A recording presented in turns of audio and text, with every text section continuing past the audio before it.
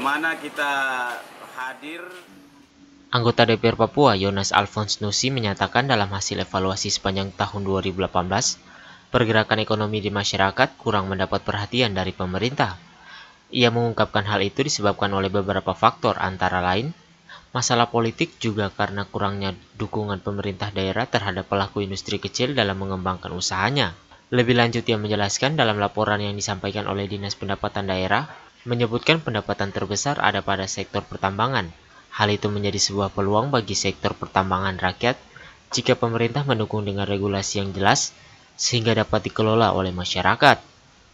Ia juga menjelaskan peluang pasar yang ada di beberapa kabupaten dan berharap hal itu mendapatkan dukungan dan perhatian dari pihak perbankan juga pemerintah agar ke depan dapat dikembangkan sehingga memberikan penghasilan bagi masyarakat di Papua.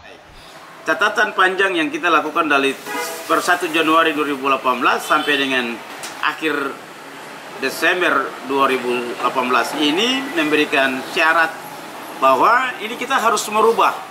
Dan kita memasuki tahun 2019 yang harusnya kita melihat catatan-catatan yang setelah kita lalui bersama ini kita mendorong pemerintah untuk untuk bisa memberikan backup atau memberikan pengawasan terhadap sektor real kalau sektor real ini tidak diperhatikan dengan baik, maka rakyat tidak akan mendapatkan apa-apa dari sebuah pergerakan pertumbuhan ekonomi di negeri ini. Olehnya itu upaya kita bagaimana uang ini ada berputar di tangan rakyat, itu harus digerakkan sektor real. Dengan mengupayakan beberapa kegiatan ekonomi misalnya perkebunan atau uh, sayur mayur yang dari titik tertentu dari perkebunan hingga tiba di pasar. Ini fasilitasnya apa? Berarti transport. Inilah yang harus dilihat secara baik. Juga misalnya ikan.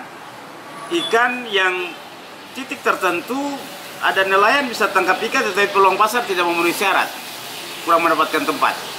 Bahwa ke depan tahun 2019 pemerintah berkewajiban untuk kita dorong, kita backup sehingga sektor-sektor ini bisa memberikan penghasilan bagi rakyat di tanah Papua, khusus Provinsi Papua.